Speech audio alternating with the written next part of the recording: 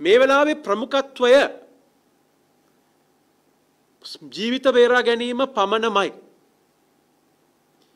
ජීවිත බේරා ගත්තොත් අපිට පාරවල් හදන්න පුළුවන්. ජීවිත බේරා ගත්තොත් අපිට අනිකුත් සංවර්ධන කටයුතු කරන්න පුළුවන්. මේ වෙලාවේ අපි අපේ වටිනා වූ මනුෂ්‍ය සම්පත ආරක්ෂා කරගත යුතුයි. එනිසා සල්ලිනේ කියන තැනට යන්නේ නැතුව රජය අනෙකුත් කටයුතු ද්විතීයක වශයෙන් සලකලා මේ සෞඛ්‍ය පහසුකම් ලබා දෙන්න රෝහල්වල පහසුකම් ලබලා දෙන්න වඩා වැදගත් වූ ඖෂධ අවශ්‍ය තරමට රැස් කරගන්න විශේෂයෙන් ඔක්සිජන්.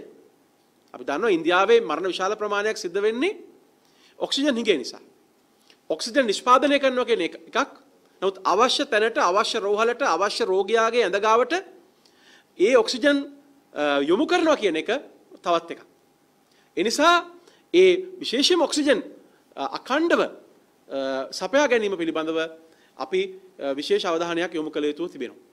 එනිසා මේ වැඩිම මරණ සංඛ්‍යාවක් වාර්තාවීම කියන ඉතාම අවාසනාවන්ත කේදජනක තත්ත්වය අප ඉදිරියේ ඇස්පනා අපිට පෙනෙද්දි ඒ අපිට නොපෙනෙන මේ වෛරසයෙන් සිදුවන හානිය සහ ඒ විපතට පත් වෙලා ඉන්න විශාල පිරිසක් සැඟවුණු රෝගීන් පිරිසක් සමාජයේ ඉන්නවා කියන එක වගකිවිය යුතු වෛද්‍යවරුන් සහ දේශපාලන නායකයන් ප්‍රකාශ කරන මොහොතක අපේ ප්‍රමුඛතාවය ජීවිත ආරක්ෂා කර ගැනීම පමණමයි.